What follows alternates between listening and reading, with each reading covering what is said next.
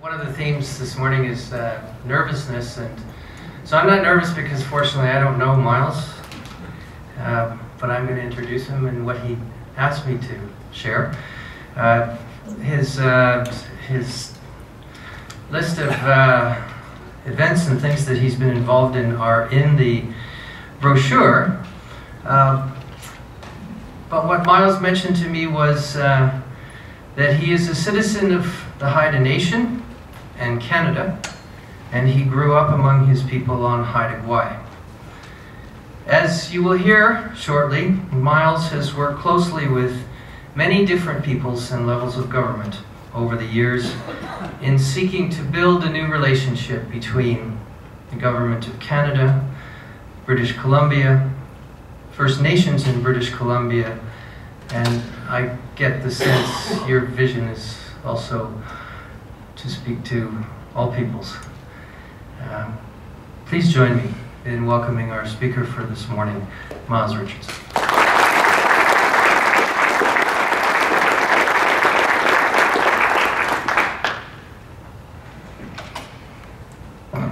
Well, you're sure making me feel at home throwing the clock out. That's usually how we do it. And I never mind it as long as I'm the one with the mic. I am Miles Richardson. I am Kilsly Kaji Sting of the Eagles of Joth of the Haida Nation. I'm really honored to be here this morning and I want to acknowledge the Yitka of the Nakota people in whose place we're gathered today and who so generously welcomed us into their territory and helped us this morning with their ceremonies that we can carry out our deliberations in a good way. I'm really thankful for that and and really um, have been looking forward to this discussion.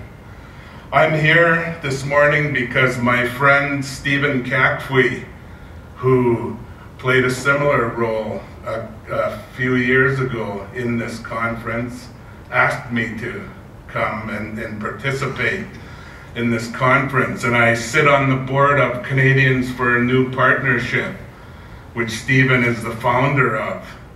And one of our missions, pr probably the most important mission that Canadians for a New Partnership has, is to follow through on the reconciliation piece of the Canada's Truth and Reconciliation effort.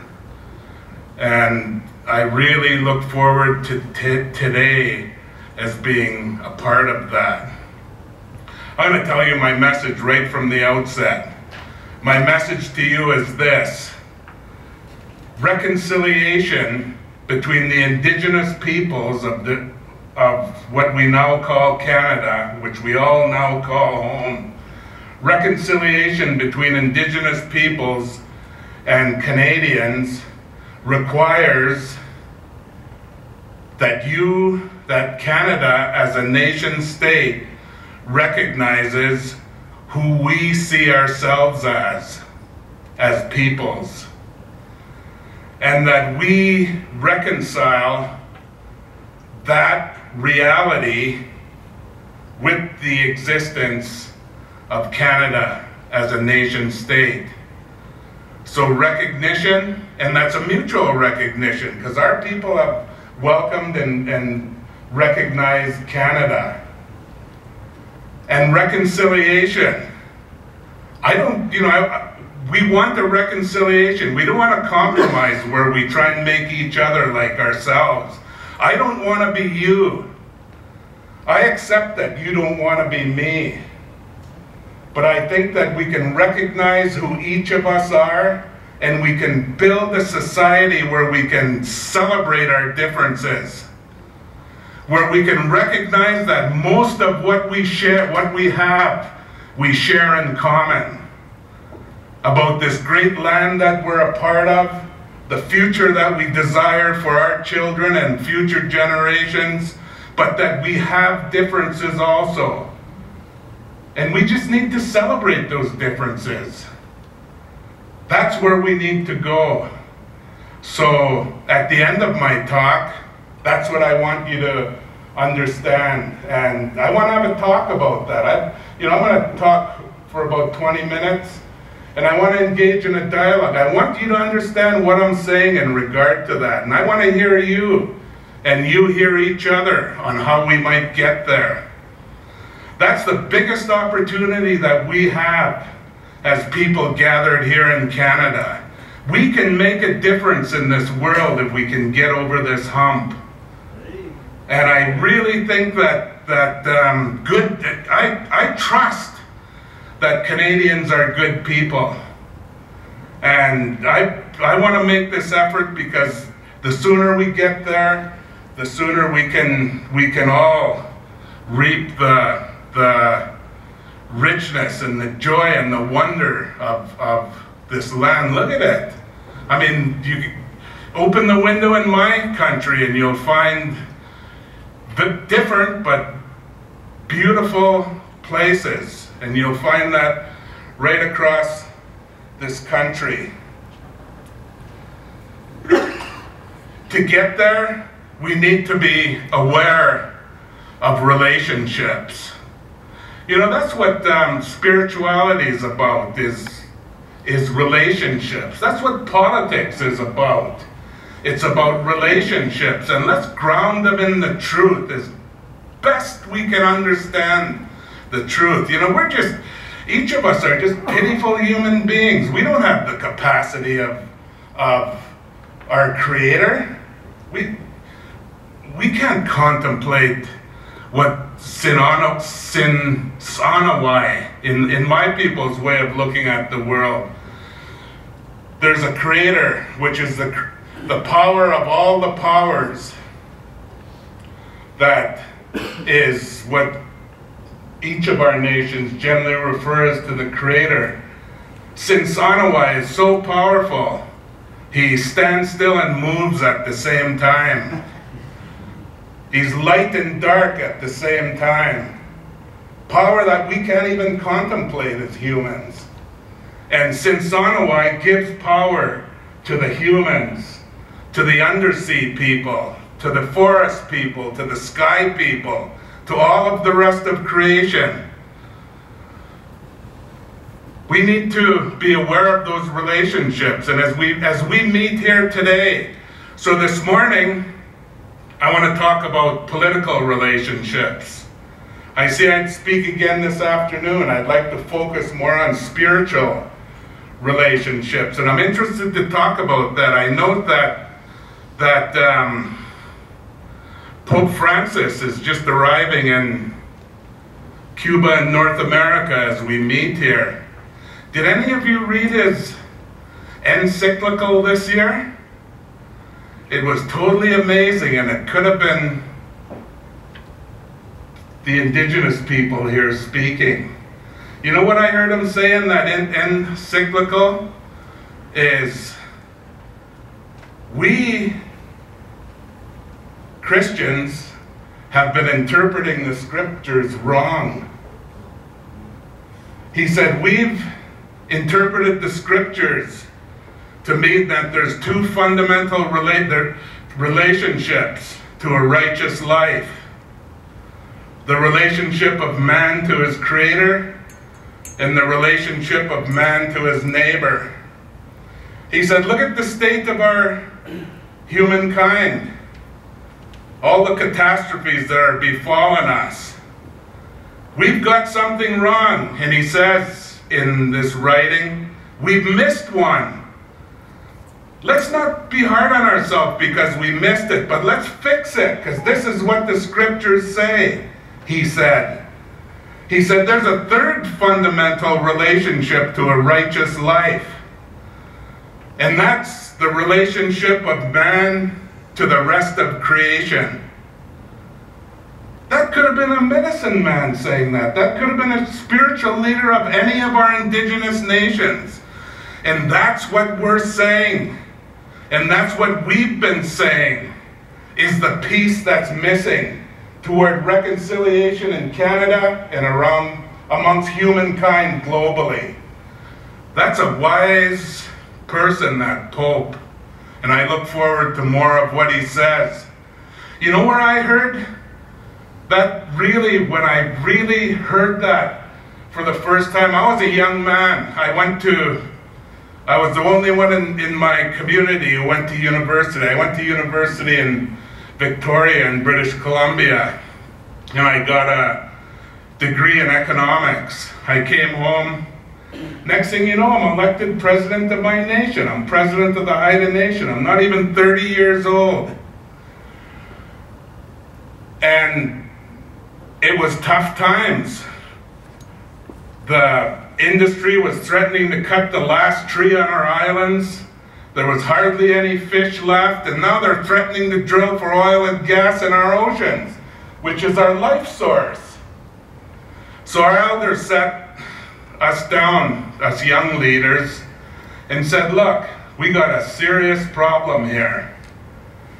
Every generation of our nation has met one basic challenge. We've survived and passed our culture on to the next generation.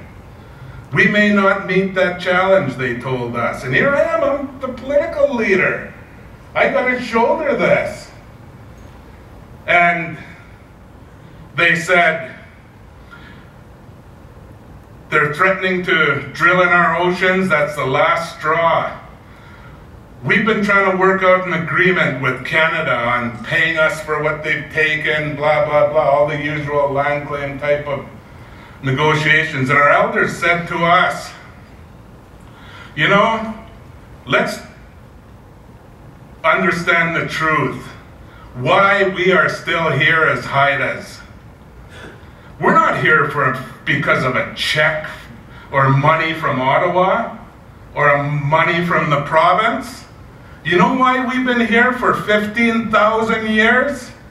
Because of the wealth, because of the richness of our homeland, our life source, Haida Gwaii. And if we're going to survive, if we're going to prosper, we had better protect her. He was saying the same thing that Pope is telling us now. Our elders were telling us the same thing. Is we are all interdependent. What befalls our forest, what befalls our oceans, what befalls our fish, befalls us. Our fate parallels their fate. And if we can't treat them in a respectful way, if we can't follow the natural law that our Creator put here with us, we will perish. That's what we had to deal with. So imagine, you know, here I am, young president of our nation. We didn't have an army. Would have made things a lot easier. We didn't have big budget. You know, we didn't have all kinds of public relations um, capacity to go out and convince people. But we sat down and said, okay, this is our homelands. How are we going to live in a respectful way? So at that time, people laughed at us. We put in place a Haida land use plan. I signed it off. I was the president. We pulled a, we did a, we built a, a Haida governance constitution behind it. That was 30 years ago. And it's a long story of what's transpired, all the battles and struggles and political alliances. And, but I'll tell you, one, one morning, I found myself out on a logging road on Athlii Gwaay, Lyell Island, facing down, standing in front of the logging industry on that basis that it was our responsibility to protect our homeland. And if that we weren't successful, we weren't gonna we weren't gonna survive. I'll tell you that I was a bit cynical. A small group of us had prepared ourselves to pay whatever, you know, we put our name out there, we we're gonna do whatever it took. And I expected we were going to have to pay the ultimate price. We weren't going to we weren't going to lead with violence, but also we weren't going to be pushed around. And I didn't think that people cared. I'll tell you that first morning we were standing on that road, the media were flying around in helicopters, but to make a long story short, Canadians and people across this globe came and stood shoulder to shoulder with us for the truth that we stood for. And in 2010, our leader and the leader of the Haida Nation in 2010, Guujaaw, signed a government to government land use agreement with the government of British Columbia, Premier Campbell, that put in place the land use plan we drew up 30 years before. Not one inch was left out. So I know it can be done. I know this country can work. And that's why I'm optimistic. I, we've, we've got to find that goodness in all of us, the, the better angels of our nature. We don't have to snuff each other out. I mean, I'm not a threat to you being, being a Haida. Just like the Nakota aren't a threat to you in being who they are. Matter of fact, they're the biggest asset you could hope for in relationship to this place. So I'm from these islands that are off the coast of British Columbia, about 100 miles off the coast of British Columbia. Our northern shore is 40 miles from the southern shore of Alaska. Matter of fact, half of our nation are Americans. Half of our population are in, in Prince of Wales Island and southeast Alaska. That's been our home scientists date it. that's been our home since our creation on this earth. We were created in Haida Gwaii. We didn't migrate from Africa. We were created, our stories tell us, on Haida Gwaii. And the, since the beginning of our time on this earth, scientists have pegged that through carbon dating to 15,000 years so far. The Ice Age only receded 7,500 years ago. So for half of that time, we shared our islands with ice. They didn't cover half of it. But that's a long time, and you know, you, you gotta wonder, why did our people survive in the same place through all those millennia? I don't think it's an accident. And I think it's a, it's a beautiful, wonderful human story that's recreated all over this earth. And it's those indigenous people identity, who we are, is very much about a relationship to place. And our cultures have evolved from the distilled wisdom of living in the same place through great expanses of time. And all we need to do is listen. The wisdom for sustainability, for living right, for being living the right way are there. But we've got to deep dig deep down and glean what is the truth. That's what our religions try to do. You know, I don't think any of us pretend, think that there's a creator for each of us. You know, I, I don't think it's controversial that there's only one creator for humankind, for this world, and that each of our traditions, each of our religions or spiritual traditions are ways of ways of understanding what the basic laws of creation are and what the way, what we need to do to honor them and adhere to them and thereby prosper. Because one thing I know, to the degree that we don't, to the degree that we transgress those laws, we pay. There's no negotiation. We don't have the capacity to negotiate with our Creator. To the degree we transgress, we pay. That's what's happening in this earth. We can figure it out as humans. We can figure out a, a respectful place here.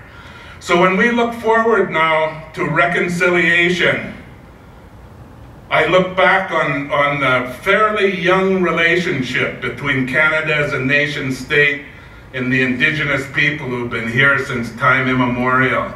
And I break it myself down into three phases. When Canada began, and you know, in 2017, we're celebrating what, 150 years since Canada was formed.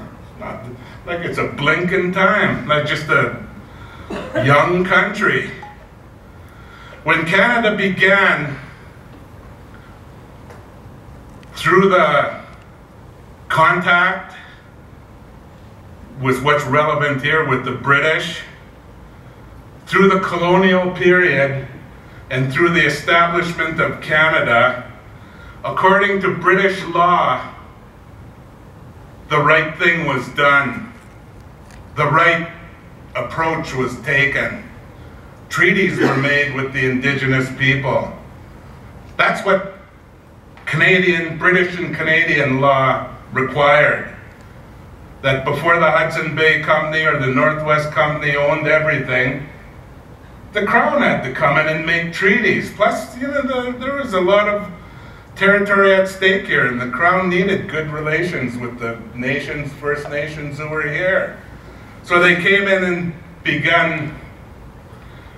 And I'm just saying the form was right. Don't get me wrong saying they were all righteous people and negotiated beautiful treaties in a fair way or anything. When I've made the speech before, I've had to spend twice as much time arguing with my friends about that. I'm talking about the act of making treaties on a nation-to-nation basis. That's how we began, and that's the appropriate approach. And then we moved into phase two. Around the time Treaty 11 was entered into, BC was thinking of joining Confederation, and you know the Parliament was just getting formed for Canada. Canada changed its mind about that fundamental form of the relationship. That's phase two. Canada decided that far from honoring their law and recognizing the indigenous people, the nations, they were going to deny the existence of these people and they were going to assimilate them into the Canadian body politic. That became Canada's policy and it remains Canada's policy to this day. Deny, deny, deny any fundamental legal entitlement. Assimilate First Nations through the Indian Act, through me measures like the residential schools, which we're talking about working our way out from today through the Truth and Reconciliation Commission. And for most of the last 150 years, that's what's transpired. But while this was happening, First Nations leadership persisted. They said, Canada is a wonderful promise. Treaties are what you must be entering into treaties that address our original title and reconcile those with Canada as a nation state, And treaties of sharing and coexistence, reconciling each other, not making each other in our own image. And then in about the 1970s, the law in Canada, the domestic law, really started enforcing what indigenous leaders had um, been saying and bringing forward. And so today, you know, we have the first declaration in British Columbia of Aboriginal title as not skimpy rights where you can catch a fish or pick a berry when some other, when some Canadian citizen is not using it, but substantial title ownership interest in the land itself over large expanses of land, which is what our people have been saying from day one. So the law is pushing us there, but now we, as the people the, in First Nations and in Canada, must breathe life into that. If we wait for the courts to flesh this out, you know, Beverley McLachlin is a fabulous, visionary, powerful leader, but she's not going to do it on her own.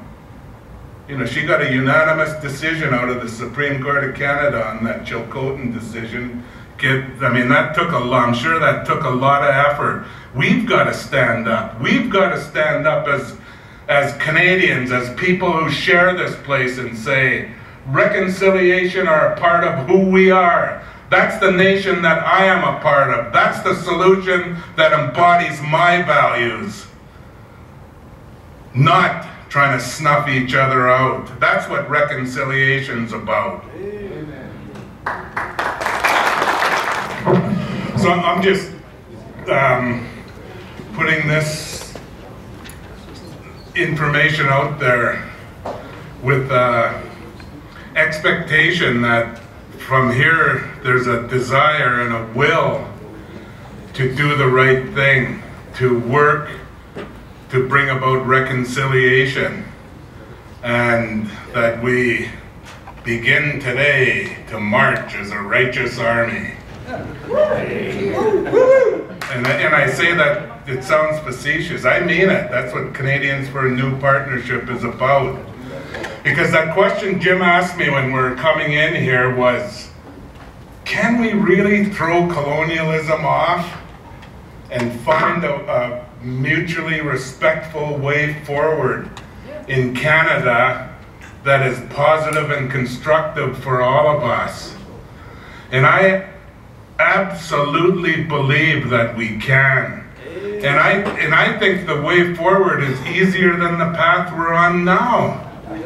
You know, when, when we look at the societal challenges we have and even the human, global challenges that if we recognize indigenous peoples, recognize First Nations as who we are, and reconcile and it comes down to this.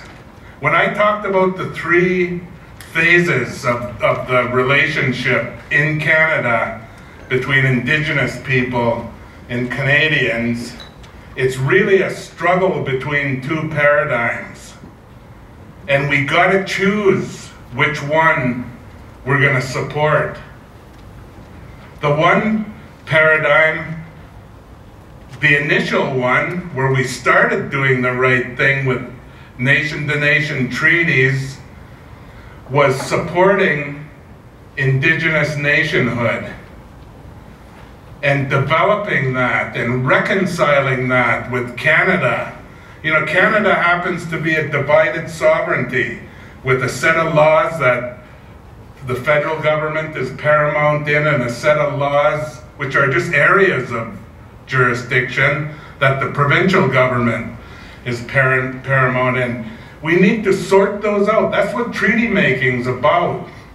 And First Nations are going to retain some of those. First Nations are going to retain jurisdictions or lawmaking powers over areas that are essential to who they are. And will give up some in the interest of national cohesion. That's the challenge. So the one paradigm is that supporting, enhancing, building indigenous nationhood and reconciling with Canada.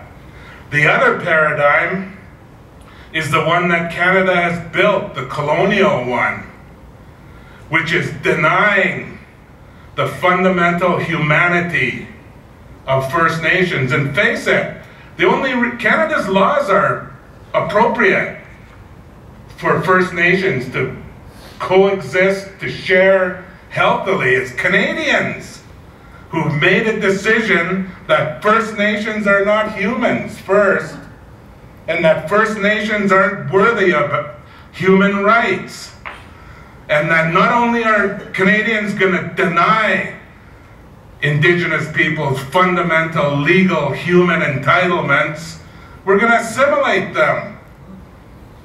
That's what residential schools tried to do. We're going to make brown little white men out of them until they're all get rid of that brownness. That's what Why? I mean, but that's our choice be- between those two paradigms. And we need to decide every day, every moment in these relationships, which one we're going to feed. It's a serious question, and it's a question that every one of us can make a difference in.